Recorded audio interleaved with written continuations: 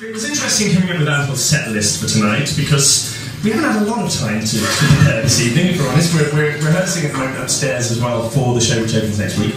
Um, so, uh, in terms of coming up with ideas, I asked for a few suggestions on. Um, I used the medium of Twitter to see if anyone had any ideas. Um, I had one suggestion from a friend who's here tonight who shall remain nameless who suggested I'm just a girl who can't say no. I'm not doing that one. Um, this is a song from a musical I did 10 years ago now, so you probably won't know it at all. Um, but it was suggested by a couple of people because it's on YouTube and a few people have seen it. Um, it's a cheery little show called Footsteps to the Moon, uh, which is all about. Uh, I looked at the quote. It is about.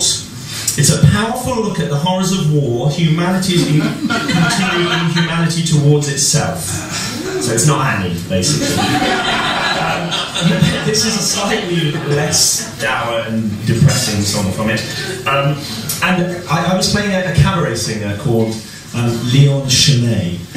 Um, and I remember the director, the, the note that he gave me more than anything else was just remember, keep a, keep a lid on the camp. It's getting a bit camp. I'm, like, I'm playing a cabaret singer called Leon Chenet.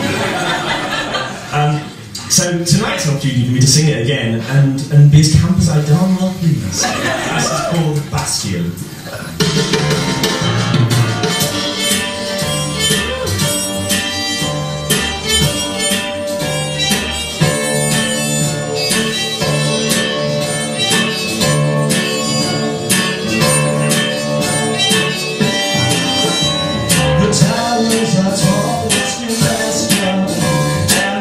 Boulevards widest you see.